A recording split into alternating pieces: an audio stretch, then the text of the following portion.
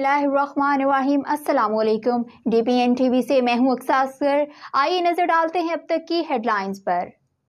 Islamabad high court ने इमरान खान की TV channels पर बराह रास्त तकरीर दिखाने की इजाज़त देते हुए पैमरा का पाबंदी का हुक्मनामा मअतल कर दिया।